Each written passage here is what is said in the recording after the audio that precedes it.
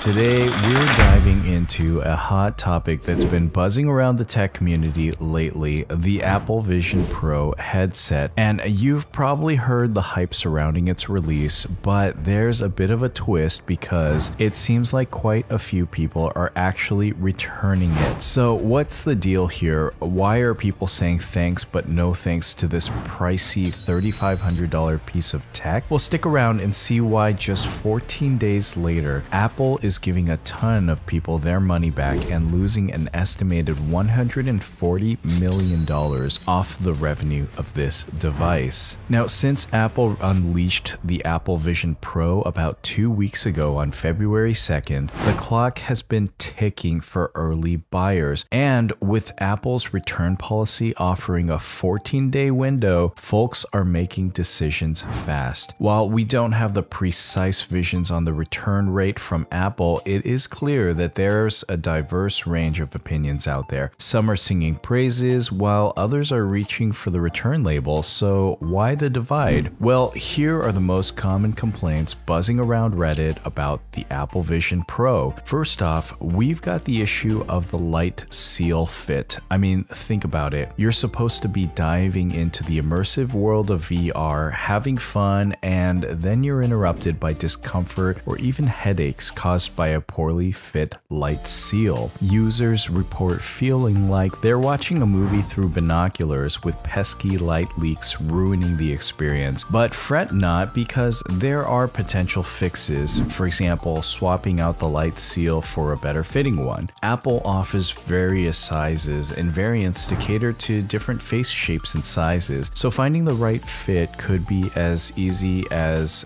swapping it out with Apple and the key to unlocking a more comfortable VR experience. So, next on our list is eye strain, a real pain in the well, eyes. Some users are experiencing eye soreness and fatigue, especially during extended use of the Apple Vision Pro, but the issue might improve over time as users acclimate to the device. But it's still a significant factor driving those return requests. The intense focus required for eye tracking and navigation in the digital realm can also take its toll on even the most resilient of peepers. So if you're planning on trying out this piece and going going into the world of VR, pre prepared to give those eyes a break every now and then. Now, let's talk about the weight. The Vision Pro isn't exactly known for its featherweight design, clocking in between 21.2 and 22.9 ounces. This headset packs quite a punch. Now, to put it into perspective, that's like strapping on three iPhone 15 Pro Maxes stacked on top of each other. Ouch. Some users are finding it too heavy for prolonged wear, with reports of discomfort and strain after just a short stint in the VR world, while some have resorted to 3D printing modifications to distribute the weight more evenly. Others are simply opting to hit the return button and bid adieu to the heavyweight champion of headsets. And now let's address the elephant in the room here technological limitations. While the Apple Vision Pro is undoubtedly a revolutionary device, it's not without its flaws. Users are reporting issues with text rendering and performance, particularly when compared to other Apple products like Retina displays. It's like trying to watch a blockbuster movie on an old school TV. The experience just doesn't quite measure up. For a device marketed as a game changer in the world of VR, these technological technological hiccups are leaving some users feeling underwhelmed and, dare we say, a tad disappointed. Another reasons for the return, now that we've covered some common complaints buzzing around Reddit, let's dive into some additional reasons people are bidding farewell. First up, we've got the issue of social isolation. So picture this you slip on your Vision Pro headset, immersing yourself in the world of VR. Sounds pretty cool, right? Well, not so fast because while the immersive experience experience can be a mind blowing change for the wearer, it can also be pretty darn lonely. So think of it like putting on a pair of noise canceling headphones. Once they're on, you're in your own little world, completely disconnected from those around you. Sure, there's potential for meaningful connections and interactions in the virtual realm, but for now, it's really a bit like